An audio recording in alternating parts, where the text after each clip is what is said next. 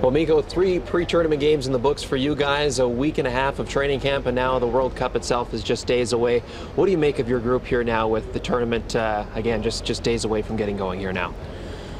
Well, I think uh, I think we had uh, good experiences uh, with the with the preseason games and, and uh, um, a lot of traveling and, and, and coming overseas and all that. So now that's behind us and so that it's good to uh, kind of settling in and and a couple more practices to go and, and then we're uh, then for the first game. So uh, we should be uh, should be good to go and I'm very excited to uh, to get started.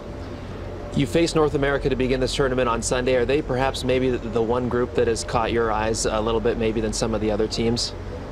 For sure, they're uh, different. I mean, uh, uh, the, the, way they select a team, and, and, and uh, for sure we, we know all the players, but it's tough to uh, kind of figure out the, the style of hockey that they're going to play. They're very fast, and, and, and, they can move the puck and, and all that, but they don't.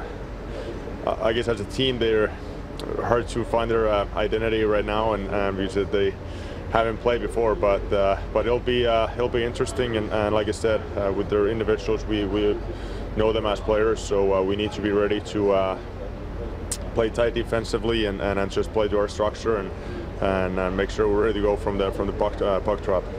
You were just 21 when this last tournament happened in 2004 as a member of Team Finland, and it was a, a, pretty special run for, for the Finns to go to the final against Canada. What do you remember about being in that tournament? A lot. I mean, uh, uh, great memories. Obviously, it was my first tournament uh, with with the pro team, and and uh, first of all, just to get a chance to play with uh, with all, all them. Uh, it was something special for myself as, as, a young kid, and, and for sure, when oh, every time when you get a success in the tournament, and you you you, you go far. I think the memories are even even better, and we played some good hockey and and it was uh, uh, some of the games were in Finland as well. So uh, it was a little bit different at the time, but like I said, great memories from there.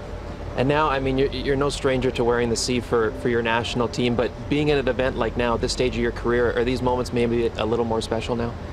They are. I think you. Uh, I think you realize uh, the the older you get that uh, the chances to to play for, first of all, representing for your, your, country and, and get a chance to play in a tournament with all the best players from the world. I think uh, I think you do realize that that how special they are and, and, and for, for the players but also for the fans and for the game of hockey so uh, it's uh, really appreciate it and, and you want to uh, you want to enjoy it every minute of it but uh, like I said at, at, the same time you want to make sure that uh, individual and as, as a team as well you need to focus on hockey and, and make sure that that everyone's ready to go and, and um, but for sure, you want to have some fun as well and, and uh, enjoy it, like I said. All right, well, Mikko, have fun today at Media Day and best of luck in the tournament. Great, thank you.